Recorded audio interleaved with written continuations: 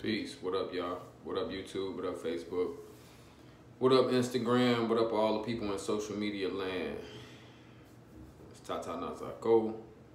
I want to talk to y'all today about the Palo Mayombe Spirit Mama Chola and love spells with Palo Mayombe Spirit Mama Chola.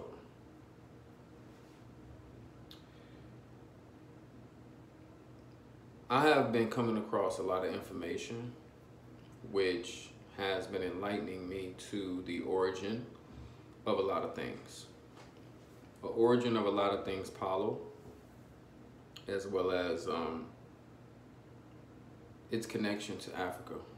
It's given me a really different perspective about why the Cuban culture identifies with Palo Santeria Lukumi in such a way that it does where it, it, it, it invokes ownership of that particular tradition as if, oh, it's not about Africa so much as it is about Cuba. I think Cuba's a very beautiful place. All the people that I've met from Cuba are very beautiful people. Um, and I understand why they were able to say, look, this is ours. Palo, Santeria, Lukumi, this is ours. I'm understanding why they're able to say that now. Because I'm understanding that many of the Nkisi or the Mpungu, which have been created in Cuba, don't really have a direct lineage to an Nkisi in the Congo, in the African Congo. I explained this in the blog on my website that is associated with this particular video. You can click the link in the description of this video. It'll take you over to the article where I actually go into detail about the origins, particularly of the spirit Mama Chola. Okay. In this particular article, I explain how in the Criollo Afro-Cuban practice of Palo Monte, Mayombe. The Nkisi is created from the lineage or the shadow of its previous of its predecessor, meaning that if your godfather, if you receive the Mama Chola Wenge from your godfather, then your godfather would give birth to that Mama Chola Wenge from his Mama Chola Wenge, the shadow of that Mama Chola Wenge, and so forth. And then your, if you grew um, in the tradition and became, you know, a, a, a godfather, if you will, then you would create a Mama Chola for your godchildren based on the shadow of the Mama Chola that you have received. The issue with that is that we found that the Mama Chola Wenge that was created in Cuba, the Nkisi that was created in Cuba, although it is based on the same spiritual principles and the occult principles as the Nkisi in Africa, it's not the same energy and it does not come from the same lineage of energy uh, from the African Congo Nkisi, uh, Chola Ngingwe, okay? Chola Ngingwe or Ngingwa is a energy that was particularly identified with love. Okay, Zola coming from the root word Zola, or Chola coming from Zola. But this particular Nkisi, and as you can see on the website, you'll see the picture of the Nkisi. An Nkisi in Congo, Africa is actually a statue which is created out of wood, carved by an Nganga, which was the name of the original priest in the Congo.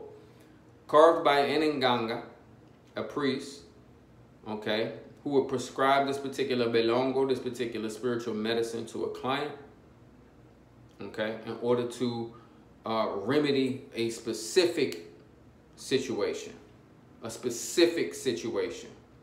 This is not a universal Nkisi that everybody comes through, throws their wishes and petitions and ebos and offerings to for all things related to Mama Chola Wenge. This is not the type of Nkisi that was created in the Congo. Okay? So there is no universal Chola Ngengwe in the Congo with, which ties its lineage to the Mama Chola Wenge of African Criollo or, or, or Criollo Afro-Cuban uh, Palo Monte, Mayombe. There is no lineage. There's no connection. Okay, so this is one of the reasons why we began to see, and I began to notice, even in my own personal practice, I began to realize a lot of people say, oh no, that's not that, that's not that. But it is that. And it, it, it got confirmed for me when I was, I got a reading from a Babalawo, maybe like the beginning of last year. And the reading from the Babalawo, the Babalawo, in the middle of the reading, he said that Oshun and Obatala had come through. And Ifa says that I needed to make an offering to Oshun. I said, I said, Baba, I'm not an Orisha priest. I do not have um, the, the, the, the Orisha Oshun. I don't have that Orisha to be able to make the Ebo to her for what he said that I needed to give her. I said, but I do have the prenda, I do have the nganga of uh, the Palo Mayombe spirit Mama Chola Wenge. I said, can you ask Ifa if it is acceptable for me to give the Ebo to Mama Chola Wenge instead? He consults with Ifa. Ifa says yes. I gave the offering to Mama Chola Wenge. Everything was fine. So what that showed me was that there is definitely some correlation and there is some spiritual correlation. Fuck what everybody talking about out of their mouth. What is the spirit saying? The spirit received, how is it that Oshun was able to be appeased by me giving Mama Chola an offering? This is because the Nkisi that was created in Criollo, Afro-Cuban Palo Monte Mayombe was a creation of Cuba. It was a creation of Cuba. And it does not take away from the validity. It does not take away from the power. It does not take away from the respect. It does not take away from anything of the Palo Mayombe practice. But we have to point out that this particular Nkisi, this particular energy was created there. And it was created from the energies in the city. It was created from a combination of other traditions. Obviously, Lukumi obviously the Yoruba tradition, where we were able to syncretize certain attributes from Oshun into the localized Criollo Nkisi known as Mama Chola Wenge. Okay? This is through my research. This is through what I have come across. This is through what I have seen. And I have experienced in my own practice. The syncretization and the connection between Mama Chola and Oshun. So I look at the Mama Chola that we work with in Criollo, Palo Monte, as it is taught in Afro-Cuba, as, an, as a created Nkisi, which makes it universal for all of the things that are also associated with Oshun. How is it that we go to Oshun for love? We can go to Oshun for money, but we also go to Mama Chola for love, and we can also go to Mama Chola for money. How is it that Oshun likes honey, but then also Mama Chola likes honey? How is it that Mama... You see what I'm saying? How is it that they like these same attributes if they're not the same in any type of way? How, how is it that they like these same offerings if they're not the same in any type of way? So I started to see the connection between it. Does not take away from the practice of Palo Mayombe, does not take away from the power of Mama Chola, the respect for Mama Chola as it was created in the Criollo, Afro-Cuban culture. But we have to say that the origin, and if that's the case with Mama Chola, we also have to say that, that that is also the case with many of the Nkisi, which we work with here today in Afro-Cuban Palo Monte Mayombe. This is the exact same principle being, the syncretization principle being played out. Okay? I'm sure we can see the same correlation between Zarabanda and Ogun. Okay? If we do our research and we look for the origins of Zarabanda in Kikongo or African Congo, I'm sure that we can see that there is no direct lineage of energy linking back to an original Nkisi in the African Congo for the spirit of Zarabanda. And this is why we can see so many attributes associated with Zarabanda, also associated with Ogun, so much so that some people will say Zarabanda Ogun. Okay? That when they mention Zarabanda, they will say Zarabanda Ogun. They already associated Zarabanda with the attributes of Ogun. Nothing wrong with this. It's just a different way that the Afro-Cubans um, were able to take the principles from Africa, from the Congo. The same principle that went in, the same principles that went into creating an Nkisi are the same in Africa, the statue, the wooden statue, are the same principles that make an Nganga work in Afro-Cuba. It's the same thing. The same way you make the statue work in the Congo is the same way you make the Nganga work in Afro-Cuba. So the mysteries that were shared from the African continent to Cuba are the same. It is just that the way that the mysteries were used once they got to Cuba differed based on what they had to deal with in the location where they were, based on the situation that they were in, slavery, based on the fact that they were not able to get access to certain things that are in the Congo. If I were building these statues for my clients or patients or what have you in the Congo based on certain herbs and trees and things that were only indigenous to that part of the world and how in the hell when I got to Africa, I mean got to Cuba as a slave, was I able to still get access to those ingredients in order to recreate the same thing? So we say, oh, Palo Mayombe, it is from the Congo, it is popularized and it is localized in Afro-Cuban culture but nothing in Afro-Cuban culture, nothing in the Kikongo grows in Afro-Cuban culture. So clearly they had to adopt to what they had in the area in order to recreate, use the same spiritual principles and technology to recreate this energy in its localized version. Nothing wrong with that because they're still using the universal principles in order to do this. They're still using these spiritual principles which came from Africa in order to be able to recreate this Criollo Nkisi here in Afro-Cuba. You see? So as we get into working with Mama Chola for love spells, we begin to associate her more closely with the Orisha Oshun, and we approach her almost as if she is the Orisha Oshun, but yet she has many different attributes that are, you know, distinct her to the Palo Mayombe religion. There are certain things about Mama Chola that are different from Oshun. Oshun will represent sweet love. Mama Chola will represent tough love. You see? Usually when Mama Chola gives you what you want in a love spell, it comes with a lesson to be learned if your intentions are not pure in what it is that you desire and want. She's going to teach you a lesson. I have learned this firsthand experience and I've seen other people do it as well. She's going to teach you a lesson. So I can clearly see the distinction between Oshun and Mama Chola, but I can also see the similarities between the two as well. Okay? So in working with Mama Chola to get what we want in love, we definitely have to approach her with pure intentions. We do not want her to get on, we do not want to get on her bad side. Okay? We don't want to piss her off. Definitely don't want to piss her off.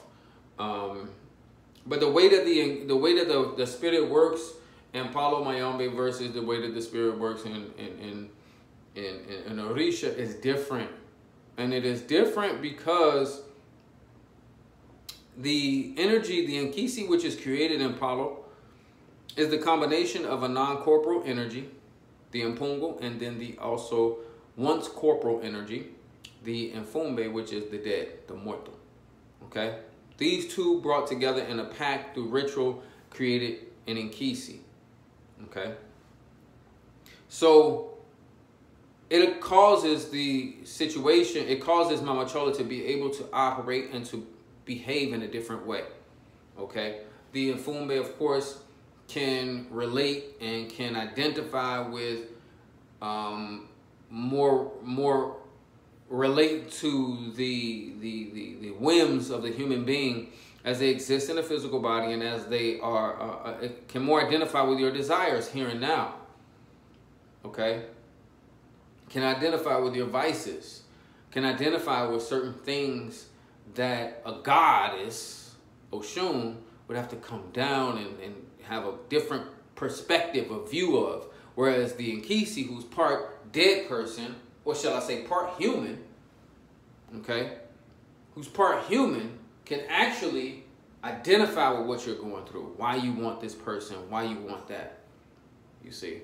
So I always tell people when I'm doing these works for people, people always asking me, what do I need to do? Sit the fuck down.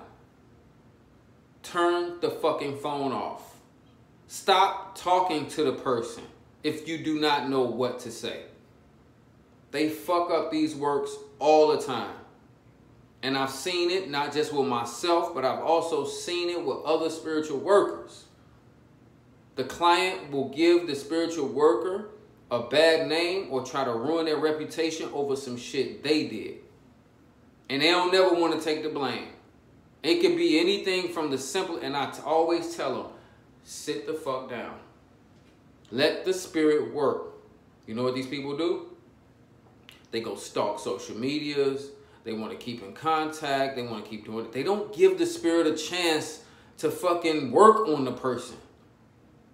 They never do. They never give this. Some people do. Some people, I'm not going to say they never do. But some people do. Some people chill. They fall back. And then they see shit working.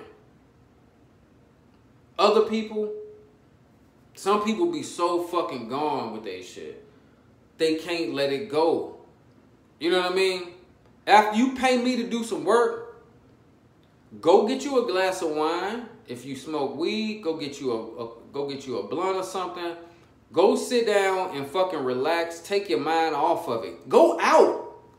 Don't even think about that. Go out to the bar. Go go do something that ain't got shit to do with this uh, related to this person. Get your mind off of it. Because when y'all keep y'all minds on this shit, y'all fuck up the work every time. Every time. Then I gotta go back and give other offerings to Chola and do this, and I gotta work with this spirit and that. I gotta do all this extra shit because people don't listen. One of the reasons why I need to start charging more.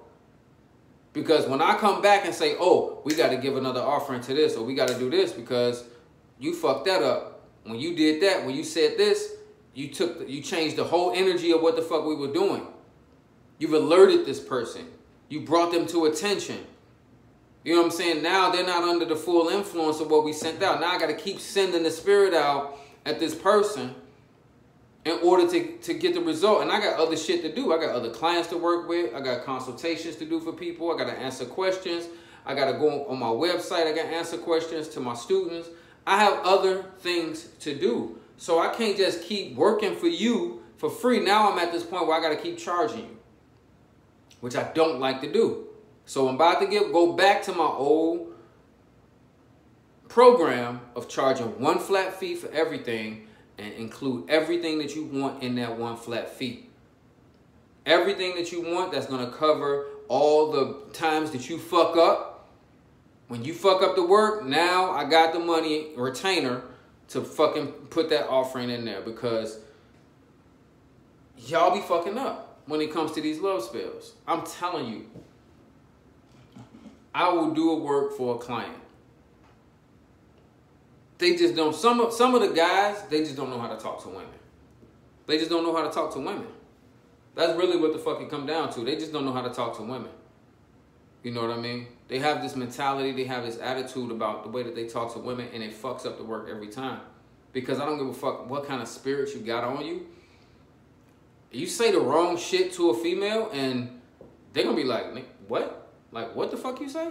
You know what I'm saying? Like, I'm not down for that. Or I'm not doing this, or I'm not doing that, or I don't want to hear this, or I don't want to hear that. If a person is, I always said, if a person is an asshole, and a person is just clearly, if a female is just clearly acting like a bitch, it's not much you can do if that's who they are. They're showing you who they are. Now you may be able to sweeten them up, but it's gonna also take you some boot licking. You can't motherfucking do a spell on somebody and then start and be argumentative with them, and they're already confrontational and think that it's gonna work. But I thought we, I thought we did a work. I thought we did an offering to make her sweet. But nigga, you can't go and fucking argue with her. Who the fuck that? I mean, come on now. This is the kind of shit that we deal with. And people ask me, how long do these works take to manifest? These works will take anywhere from 24 hours to sometimes 12 months. Dead ass serious. Depends upon how much you want the situation. This can be determined during the consultation though. So during the consultation, you can be like, okay, how long is it going to take for this to work? And if I say, okay, well, if you do exactly as I fucking say, if you do exactly as I say, it will happen. The Spirit says it will happen within this length of time. But if you start tinkering around with shit, stalking, going on Facebook, sending me screenshots. Look what she said on this one. Look what she said on this one. I don't want to see that shit. I don't care what she posted on social media. I'm not obsessed with what she posted on social media. You're obsessed with what she posted on social media. I keep telling y'all clients, social media is not real. Stop thinking because a person acting like they happy on social media, they really happy because a lot of them people ain't happy. Especially if you know that behind the scenes they got shit going on. They ain't fucking happy. Some days I post shit. You know what I mean? I may post some motivational things on my pages or whatever. And it may be because I'm having a bad day. You never fucking know. We all human beings. We all have bad days. Any motherfucking priest or priestess out here acting like their life is just pure fucking heaven on earth is a fucking lie because that's not life. And if them niggas is living like that, then they don't need to be on YouTube selling you spells and shit. Them niggas need to be somewhere, goddamn it, with some money and some hedge fund, some damn well. They don't need to be on goddamn on fucking YouTube trying to sell you fucking spells. Nobody's fucking life is perfect. Nobody. Don't fucking believe it. Okay? So you got to understand that you cannot be stalking these people on social media. You cannot stalk your target the best thing to do is do the work, set that shit, and forget that shit. After I show you the work has been done, leave it the fuck alone. Go do something else with your life. And I promise you it will manifest. I promise you. Every time a client, I have done work for a client and they have left the shit alone, they get back with the person and then don't even fucking tell me. I gotta tell them. I gotta message them. Be like, yo, I ain't heard from you in a couple months, man. How's everything going? Oh yeah, we got back together. Well, damn, you could have told me. you know what I'm saying? Like, y'all gotta quit being obsessed with your target. Go do some other shit. The more you do that, the faster it's gonna manifest. I promise you. The faster it's gonna manifest. If you keep harassing and playing around and shit like that. I don't want to keep going back to the spirit, putting work on top of work on top of work because you keep fucking up. Just do what I instruct you to do. People be like, oh, is that you're saying it or is that the spirit saying it? If I'm saying it to you, it's the spirit saying it. The Tata Nganga is a medium between this world and the next. The dead are all around me all day, 24 hours a day. They ain't never not with me. In the car, at the restaurant, wherever I'm at. Now, I may not feel like focusing in and tuning in at the moment that you're messaging me and calling me. And I like to go back to a setting, to a temple setting where I can sit down, relax, clear my mind, focus on what it is you want me to do. But they all around me. If I send you a text message, like, boom, do this, do that. Do that shit. Because if it go wrong, you can always blame me at that point. Well, shit, Tata, you told me to fucking do this. I did it, and this is what happened. But every time my clients do what I tell them to do, I be like, type this and say. I, sometimes I will text the shit to the client. I be like, say it. I say, text, copy and paste this right here, what I'm sending you, and send it to your girl. and they get a positive result every time. Because the spirit telling me what they need to say, but then it takes 20 minutes to get them to understand what I'm trying to get them to say. So I just type the shit out and be like, yo, text this to your girl. And eventually she comes back around. But then they always go back and say stupid shit. Oh man, she put me on block again. Okay, what did you say? Oh, I just asked her about, you know, what what are we gonna do about this? I be like, man, what the fuck, man? Some of them just don't know how to talk to women. I'm just being raw with y'all, man. I'm not finna sit on this motherfucker and act like I'm some holy ass dude. I'm a brujo. Shit. I ain't no fucking holy ass dude. You know what I mean? I'm a good dude. I'm a righteous dude. I walk in a way of righteousness. I ain't out here looking to fuck nobody over. But I'm not, I'm not gonna sit up in this motherfucker and sugarcoat shit to you. I'm not finna do that. You know what I'm saying? I'm not finna do that. Y'all gotta start. Y'all, when it comes to these these spells, especially with Mama Chola, y'all got to pay attention and follow instructions. Y'all got to pay attention and follow instructions. You, you do not want this Nkisi on your bad side. She is not easily one to forgive you. And I don't want her on my bad. I don't want to be on her bad side because I'm doing some shit for you. You know what I mean? Like, seriously. Y'all got to give shit time to work. Y'all so damn impatient.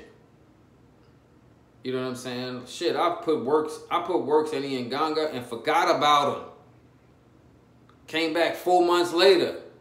The person coming all around, you know, and I'm thinking like, damn, why is the person coming around? here? Oh yeah, damn, I did put that work in there four months ago. you know what I'm saying? Like that's the kind of shit. I I don't sweat it. I'm not gonna be all up on it like that. You know what I mean? But you know, I this is really what I just wanted to say about you know about about Mama Chola, about working with these, about working with the, um, about doing spiritual work with Mama Chola, about getting love work with Mama Chola. I mean, like anytime that you get this type of work done, know that it can happen. It can manifest immediately. It can manifest in days. It can take a couple weeks. It can take a couple months. It all depends upon your situation. Every situation is not the same. So although you may see me posting testimonials you know what I'm saying, about situations that are going good for one person, it don't necessarily mean it's going to happen that quickly for you because your situation is different. There's a lot of different karma, a lot of different things that need to be worked out in each individual situation. Okay? So understand that. If you want more about, if you want to learn more about how long something is going to take, make sure you bring that up in the consultation.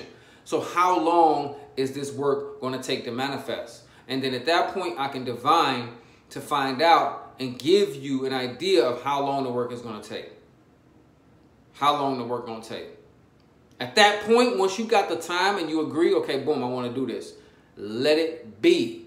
People are like, well, what else do I need to do? Nothing. I'm doing all the You just paid me to do all the work. What the fuck? If it was something you could do, then you wouldn't need me. So let me do the work, fall back, and go do something else with your life.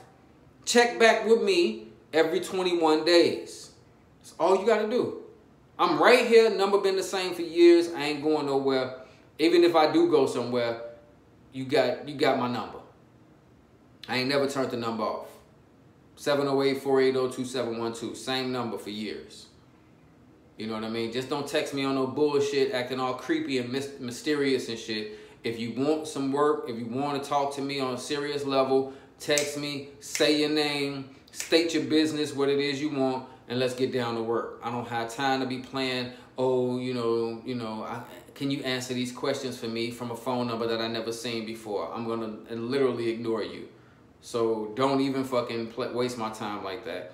If you heard my number on this video, you want to you want to send me a text message, by all means send me a text message. Do not call me thinking you finna get a free consultation on the phone. Go to my website, click the link in the description, book a consultation, and I will give you the most thorough, most accurate reading that you're going to find on this internet. Bottom fucking line. When it comes to what's going on here and right now in your spiritual life, I am the person that you need to fuck with. I'm the person you need to fuck with. You need to click the link in the description of this video. You need to book a consultation. You need to get answers today. You ain't got to get no spiritual work from me. You can go to Joe Blow, you can go to this one and that one. But I guarantee you, when you get through with my consultation, you're going to know what the fuck going on in your situation. I guarantee you. And I'm going to prove to you who the hell I am and what it is that I know how to do. So, hey, I appreciate y'all for watching. Definitely click the link in this video to, to, to, to, to read the article. Um, the article is very informative. It's going to be a little controversial, but you know, it is what it is. I have respect for all of the tradition and all of the culture all the way across the board. So click the link in the description. Definitely follow me on Facebook because I'm finna start going live on Facebook in the mornings. I'm finna go live on Facebook in the afternoons and I'm finna go live on Facebook in the evenings. Also follow me on Instagram, okay? Because we're gonna do special shit. I'll be posting up, you know what I'm saying, tips, techniques, things that you could do um, in video memes on Instagram which will also be shared and posted to my um, Facebook. Okay, so all around, go to my website, subscribe to my blogs. Make sure that you are following the website. Make sure you follow me on the social media. If you have any questions, click the link below that says contact. Send me a, um, a question in my contact form. I will be happy to answer it. Please don't send me no of them full page story about your life. Just get down to the, you know, the nitty gritty of what's going on and I will be happy to respond to you in a timely manner. The best way to get in contact with me is to book a consultation. Click on the link below that says tatanazako.com forward slash services and book a consultation with me. Set your time. We will talk at that time and we will do the work that needs to be done.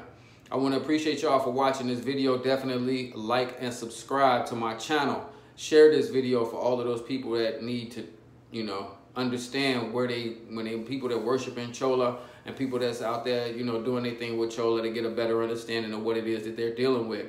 I didn't go into this I didn't go in this video as much as I wanted to about about the actual love spells themselves because the way that I've been doing things lately is a, a is a lot different than the way that I've done things in the past. I don't want to give away any of the secrets that have been handed down to me from elders about how to do things more efficiently, more stronger, and more better. So I'm not really getting into, you know, how we do things. A lot of my clients get a chance to see how I work and how I operate once they purchase work from me. Once they get a spiritual work done from me, then they actually see how I work because I share some of that information with them because I'm allowing them to peek into my temple so that they can see exactly what their work is, what, what's going into their work. They see the ceremonies being done. They see the sacrifices being done. They see everything that I do, they see. But certain things I don't explain. I don't explain what ingredients I'm using. I don't explain what certain things are simply because they're secrets of our house and they're secrets of our lineage and they're secrets that are handed down from the elders that are working with me and that are guiding me as well. So definitely, definitely, definitely click the link below Go over to the website and view the article. You're going to be blown away by some of the information in that article. If, Like I said, if you have any questions, I mean, no disrespect to anyone. This is just research that I've been getting um, from various elders, from the elders of my, my home, Monanzo, um, various elders who have been communicating with me, and we've just been trying to, you know, put all the pieces together. I have respect for the whole thing, so it doesn't matter to me if it was created in Cuba, if it was come from Africa, long as it's built and created based on the same spiritual principles, it doesn't matter to me. And I can clearly see that the same in, Nkisi statue that was created in Africa is made the exact same way in principle as the Nganga or the African Cuban Criollo Palo Monte Mayombe. Okay, so uh, I guess I'll see y'all on the next video. Appreciate y'all for watching. Like and subscribe. All right, peace.